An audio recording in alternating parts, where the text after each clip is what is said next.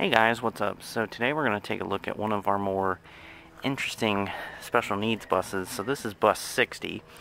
Now it started its life out as 1198 for our uh, county uh, DD, which is uh, developmental disabilities. But at the same time, so you can see here where it said county, but at the same time it was also a Laidlaw bus. I don't know the exact um, story behind how that works or how that worked, but um, this was ordered for the board of DD, but it was bought by Laidlaw. Some kind of, I don't know. My guess is that Laidlaw probably took over transportation for the county, and then when Laidlaw, um, when we got out of the contract with First Student, the county stopped providing bus servicing and all that kind of stuff. So, yeah, but the interesting thing about 60 here is that it's a full-size bus and it's got a lift. And we got the small small wheels, obviously. Um, and then here you should be able to see 1198, the shadow. But yeah, that's that's the back. And this is a 2005, so that means it's got a VT365 because it's a 200, which is kind of unfortunate. So, yeah. And then you can definitely see the shadow of 1198 there. But this bus is, in a sense, very similar to 59 because it's a full size bus, but it's a handy bus. So, and here's the CE200 emblem.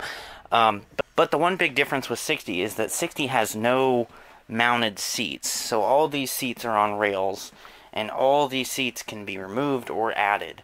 And as you can see, it's it's literally a 77 passenger body with wheelchairs and removable seats. So this would have been our first 72 passenger second gen, even though it is not a full 72 passenger bus. Um, there's the child check button.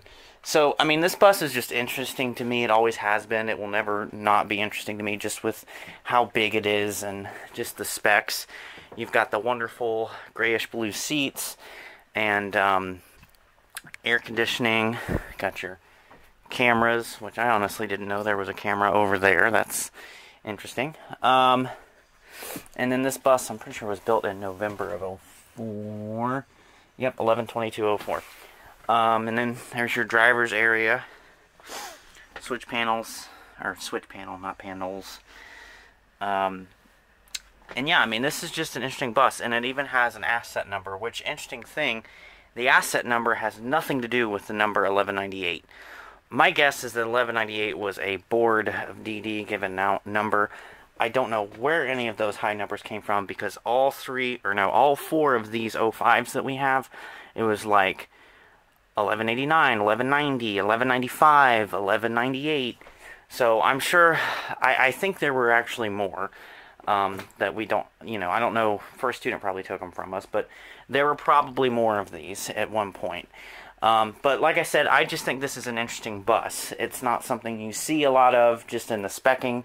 And, you know, honestly, if you look at this bus, you can tell it was ordered by Laidlaw Transit because spec wise, this body, with the exception of it being a handy bus, is and a second gen, is identical to 50. Like it's got, you know, no window tint, no white roof, the gray seats, the flooring is even the same color. Like it's it's almost identical except for the fact that this is a 2005. It's a second gen. Um, I honestly don't know where I was going. Um, I got interrupted by a phone call, so uh, I'm picking the video back up, but basically what I was saying just a minute ago was it's identical to 50.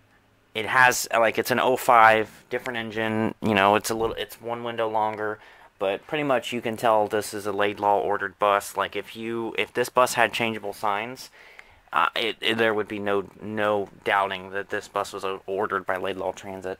Um, but that's I mean that's pretty much it um, here, oh, I already showed the front, didn't I?